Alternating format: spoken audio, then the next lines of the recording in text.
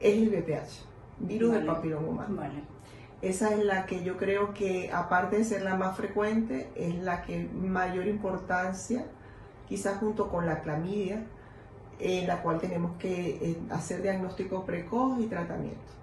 Porque como sabemos, el virus del papiloma humano, hay muchos serotipos, hay más de 200 serotipos, pero hay unos que se denominan de alto riesgo. Y es por el hecho de que están asociados o se han visto en pacientes que desarrollan cáncer de cuello uterino. Sí, la mujer definitivamente tiene más conciencia, se divulga más la información, esa asociación que tiene con el cáncer de cuello, pues mm, a nosotros como mujeres pues nos mortifica y nos lleva a, a querer saber si estamos sanas o si tenemos esa infección y si la tenemos, controlarla. Eh, en cuanto al hombre, generalmente cuando yo tengo una paciente con BPH, siempre le digo a la paciente que su pareja tiene que ir al urólogo. El urólogo los valora y muchas veces ellos no tienen eh, lesiones. Porque muchas veces esas lesiones están dentro del canal, de la uretra o de vesículas seminales y no son diagnosticadas con facilidad. En general, eh, es algo que yo diría que todos, pues, todos tenemos riesgo. Relaciones sexuales se inician ahora más precoces. Y normalmente ahorita con el te- tema de la sexualidad, pues somos como más libres, queremos disfrutar más el sexo.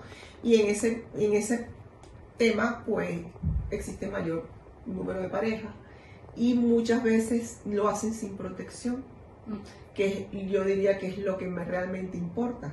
Si lo confirmas con una biopsia, ya la paciente, para ella es, es, es una sensación muy fuerte porque le vienen a la mente muchas cosas. Primero, cuando me contagié, quién me contagió, me va a dar un cáncer.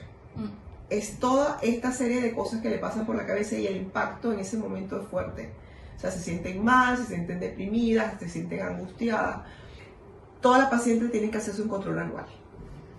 Ahora bien, si hay un diagnóstico de BPH, por ejemplo, viene a consulta, se le hace la citología, la colposcopia, se ve alguna tipia, se hace una biopsia, se determina que hay una lesión por BPH, pues ahí lo primero que hay que hacer es tratar la lesión. El BPH se trata solo cuando hay lesiones, ¿ok? Entonces se destruye esa lesión, el epitelio vuelve a, a re- a- a regenerarse con un epitelio sano y luego de hacer el tratamiento uno le hace el control a los tres meses, luego a los seis meses y si todo está bien, una vez al año nuevamente. Y el temor que tienen de transmitírselo a otra pareja. Todas me dicen, doctora, quiere decir que yo no voy a poder tener más relaciones sexuales. Doctora, quiere decir que yo siempre voy a estar contagiando a alguien. Siente como un sentimiento de culpa.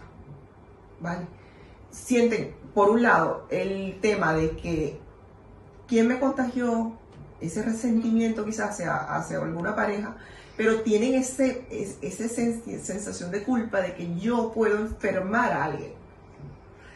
Yo creo que eso es más lo que yo, yo noto en las pacientes, más que si me contagio eh, con un- si uso o no uso un preservativo o si, eh, si no sé, de, en cuestiones de relaciones en realidad yo creo que hay poco, poco mito, poca cosa, pero sí en el tema de, de ese sentimiento que ellas adquieren de, de que si voy a ser una persona que va a dañar a otra. Yo pienso que toda paciente, hablando de la mujer y del hombre igual también, que va a ser, va a comenzar su vida sexual, tiene que entender que no solamente hay un riesgo de embarazo, sino que hay unos riesgos que a veces son más graves, que son estas enfermedades de transmisión sexual. Eh, yo pienso que lo primero que tienen que conocer es eh, los métodos anticonceptivos que le permitan, estamos hablando principalmente del preservativo, evitar ese contagio. Dentro de las pacientes que valoro, las que menos lesiones veo y menos alteraciones a nivel ginecológico en cuanto a infecciones son las prostitutas. Las prostitutas se cuidan, eh, es su trabajo y ellas tienen se- sexo seguro, o sea, usan preservativo, son, en eso no pierden un control ginecológico y yo veo peores cuellos uterinos en adolescentes y mujeres muy jóvenes que en las prostitutas. Entonces yo pienso que toda paciente que va a tener su vida sexual activa, que la puede disfrutar y que la debe disfrutar, tiene que ser responsable. Eh, en caso de que, bueno, ocurra una relación, que no haya una protección, acudir al ginecólogo, plantearle lo que pasó, uno hace una valoración, una, hace unas pruebas, determina si hubo o no contagio y de esa manera la paciente pues toma las medidas oportunas a tiempo.